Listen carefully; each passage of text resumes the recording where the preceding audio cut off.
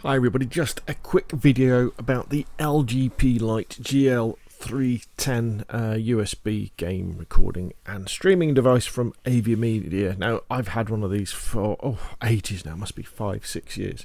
Um, unfortunately, though, recently, around about Christmas um, 2019, YouTube changed their streaming API, I think, and the ReCentral uh, software that you use with the um, with the LGP Lite stopped working for streaming to YouTube.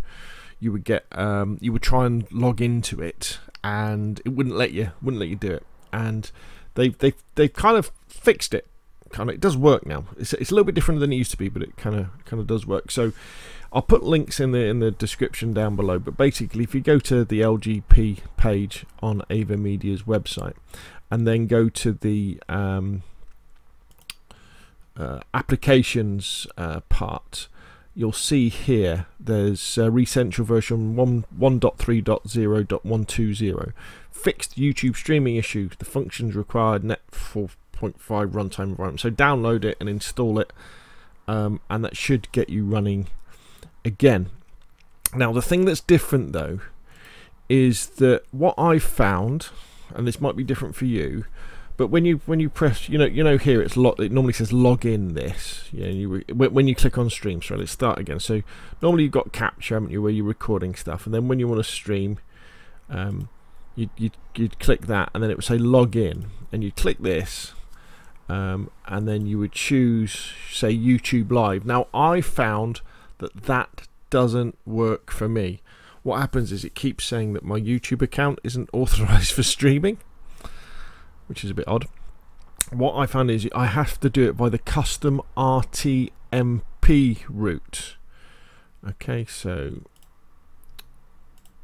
now you may be thinking, well, that's a bit complicated, Rob, but it's pretty easy. All you've got to do in your YouTube channel, just go to Create in the top right hand corner and go to Go Live.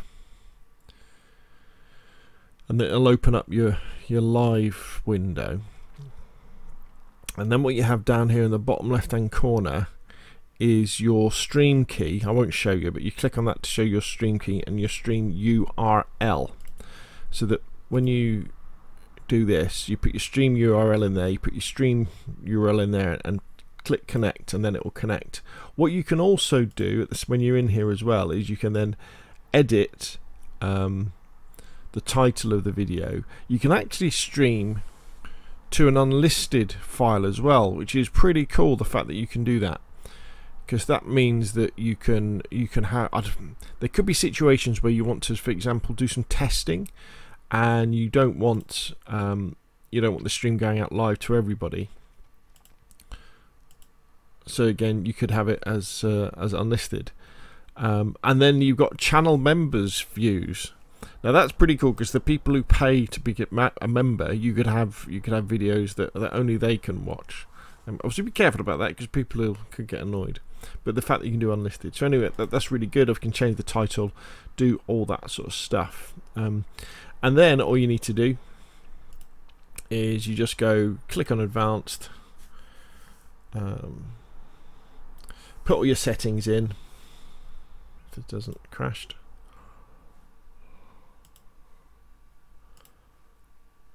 There we go.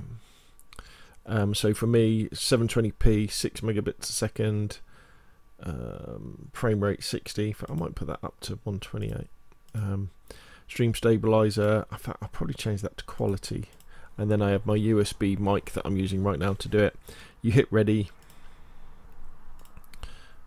And then obviously I'm connected so it disappears and I would press F7 and that would start recording. Or you can hit the button on the middle of your LGP Lite and that will start sorry start streaming um, and at this point, then you could go onto your channel and you could you could you could watch it. The, the tricky thing I find because I've only got a, a small old laptop, I, I haven't got the screen estate to be able to stream um, and play the game because I, I, tend to be using this sort of to stream uh, laptop games, you know, things using GeForce Now, and to look at chat. So I'd have to have that going on my phone as well. So there we go. Hopefully that helps. Um, I was pretty pleased with the quality. I've done a couple of tests. I'll put links in the description down below. In the second Sniper Elite test, the audio starts to break up, but that's because I'm doing all this over Wi-Fi, which isn't you know the best. You really want to be on a LAN connection. Um, but there we go. Hopefully that that's useful. And as I say, um, just remember don't don't go straight into um, YouTube.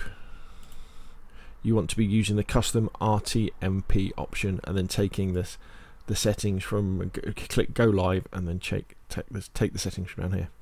Okay, there we go. Hopefully that's useful. If you've enjoyed the video, hit like. If you want to see more of the same, press subscribe. And I'll uh, well, I'll see you again soon.